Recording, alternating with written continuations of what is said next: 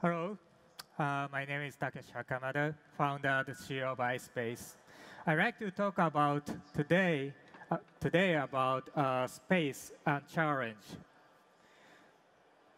So first challenge for us is first uh, lunar, private lunar exploration mission. We are running a team Hakuto, which is the front runner of the private lunar exploration mission in the world. Most of you probably think that the space development has been done by only nations.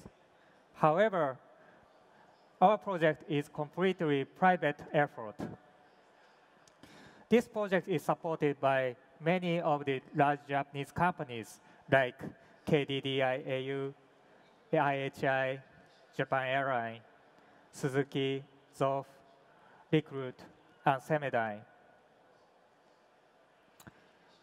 We are, uh, well, uh, going to do this mission using these rovers uh, presented here. And then we, I belong, I belong uh, our own current model with me. I suppose this rover is going to move sometime soon. And this rover, oh, this rover is very small. It's just four kilograms of mass. And then the, the importance of the mass is that we have to bring this in, into space and land on the moon. However, launching cost is very expensive. And the launching cost is uh, controlled by the amount of mass. So reducing a mass is uh, leads to the reducing the cost. And then as a private effort, we can do this mission. Okay. So we are competing for Google X Prize for this first mission. Google, Google X Prize is a global competition of lunar exploration. The mission is the first is land, on, land a robot on the moon and then second is travel more than 500 meters on the moon, and then transmit HD videos back to the Earth. And that line is end of 2017, this year.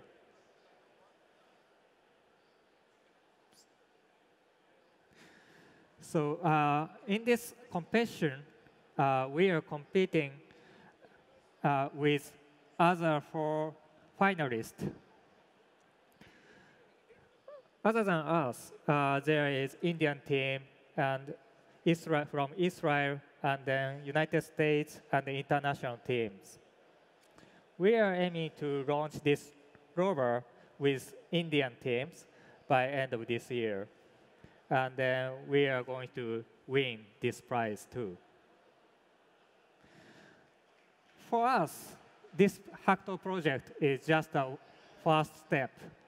We have large vision that expand our planet, expand our future. Obviously, planet doesn't expand itself. However, we have a message here that we want to expand the sphere of our living. And then we are aiming to create a new era where human beings can live in space. In order to create such a world, we think that economy is necessary in space. And then in order to open economy in space, space resource mining, space resource utilization is the key. This picture, this image is, was taken from Google Earth application. This shows more than 10,000 satellites around the Earth operating right now. Uh, as you can see, it's a very huge, uh, well, in infrastructure in space. And it's growing even now.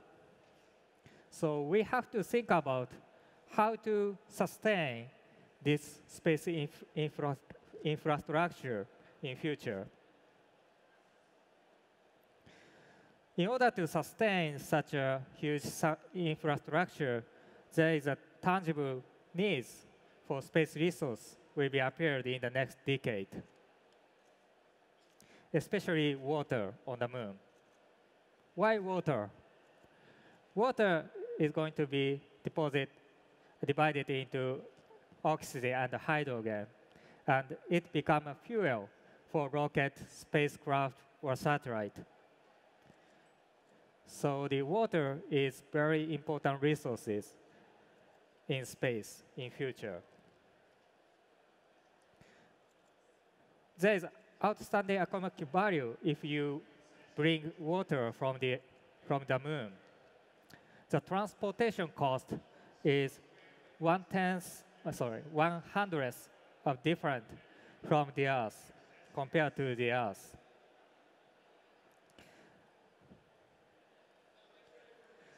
So in order to create such a uh, well space utilization industry, I think that commercialization is a key. The government are promoting the commercial business recently, and the space resource industry will be major driver of the future growth of the space industry. In order, regarding the space resource industry, uh, well, uh, registra registration is one of the key. Who is, what, who is the owner of the re resources?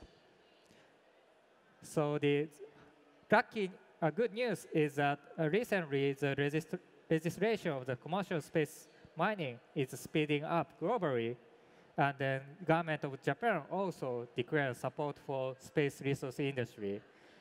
And uh, this week, I had a speech at National uh, uh, United Nations. And uh, I talked about importance of space resources in future. Technology also changing. Commercial space technology are speeding up due to disruptive technology of COTS. COTS means commercial off-the-shelf uh, electronics and software technology too. And also, Moon is a focus of the nation and commercial missions in the next decade. There's many nations start planning about uh, lunar exploration and lunar development in the next decade. Even the commercial companies like SpaceX and Blue Origins. iSpace will implement step by step by controlling risk. We start from Google X Prize and here, first step, we're going to validate this micro robot technology. And once we validate it, we are moving to the next phase. We are going to send tens or hundreds of these small rovers on the moon and then try to map use, useful resources on the moon, including water. And once we fi find uh, valuable resources on the moon, we move to the next step and then we actually try to utilize the resources.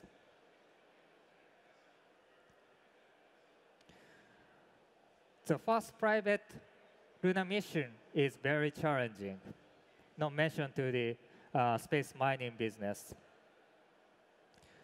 This is my philosophy, 5% to 95%. Most of people is going to do something, uh, there is over 90% success rate. Most of the Japanese do, especially. However, I think that if there is a chance of 5% or even 1%, you can put effort to increase the success rate up to 90%, 95%. I think this is real job. So I try to uh, create a path to increase the possibility to 95, 95%. And now I made this Hakuto project 95% almost.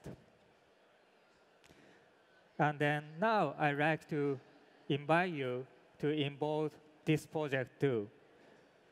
to make it 100% successful.